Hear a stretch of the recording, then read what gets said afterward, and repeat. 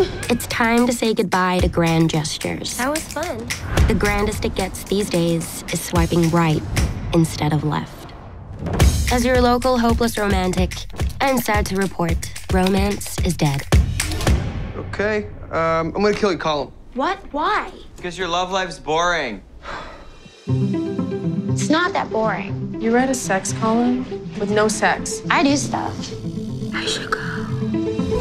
Make your column less boring. I have made $67,000 in gifts. Am I a prostitute? No. A gold digger? Maybe. The sugar baby. So, are you gonna get in? He's into arrangements. I could say something. Please don't. You don't have to do anything you don't want to do. Uh, I'd like to see you again. You gonna date this guy? No. Professor sounds hot. He's not hot, hot. He's kind of charming. For gonzo journalism, the writer has to become the story.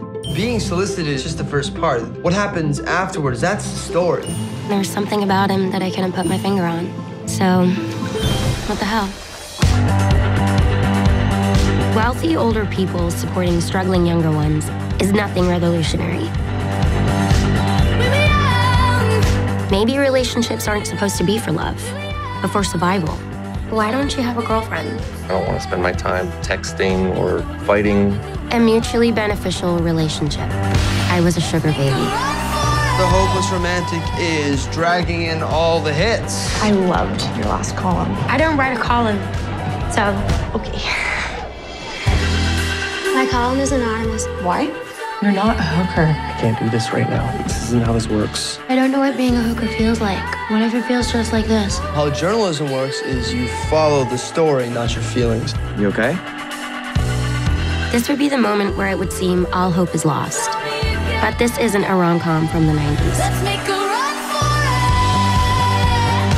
This is my story.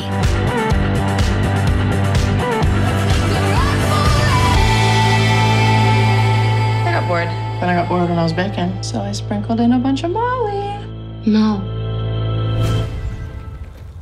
Are you Are you okay?